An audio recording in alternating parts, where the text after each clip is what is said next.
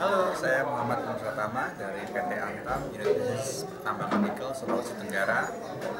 Halo, saya Muhammad Amri eh, dari PT Antam, Unit Bisnis eh, Nikel, Sulawesi Tenggara. Uh, kami berdua di ini CIBP, Certified International Procurement Professional,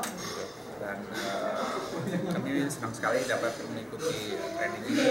Uh, trainernya juga yang sudah berpengalaman uh, dan memberikan banyak-banyak uh, masukan-masukan, uh, sharing terkait dengan uh, pekerjaan sehari-hari di supply chain management. Oh ya, kami berdua dari uh, divisi supply chain management uh, dan kami senang sekali bisa mengikuti training dan sertifikasi ini.